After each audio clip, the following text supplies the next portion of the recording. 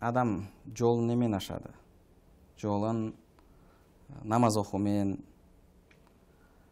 құлшылық жасаумен садақа берумен садақа қатысты пайғамбар айтады садақа бәлені қайтарады дейді. Мысалы ә, тамағыңды адал адалдап жейтін болсаң адал кәсіппен өмір сүретін болсаң бұл сенің жақсы дұғаларыңның қабыл болуына себеп болады. Пайғамбарымыз саллаллаху келетін хадис бар ғой. Бір адам жайында айтады. Шашы ұйпа тұйпа үсті шаң шаң дейді. Ютилу сафар көп сапарда жүреді дейді. Хадистің шархында ғұламаларымыз яғни ол меккеге мединеге әл ақсаға осындай қасиетті жерлерге көп сапар шегетін адам.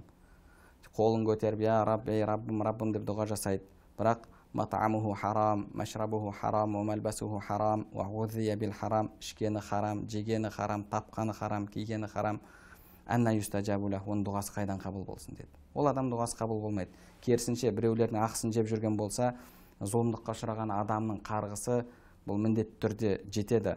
Алла мен зұлымдыққа ұшыраған адамның арасында перде болмайды. Адамдарға зұлымдық жасама адалдан кәсіп ет садақа бер құлшылығың жаса иншалла осы нәрсе жолыңды жеңілдетеді осы нәрсе жолыңды ашады. Ал енді осыны харамда жүріп одан кейін барып біреулерге барып жолымды аштырамын деу бұл әлбетте ақымақтық надандық. Егер ол жол аша алатын болса онда өзінің жолын ашып өзі байып ол барған адамның тиын тебеніне мұқтаж болып отырмас еді.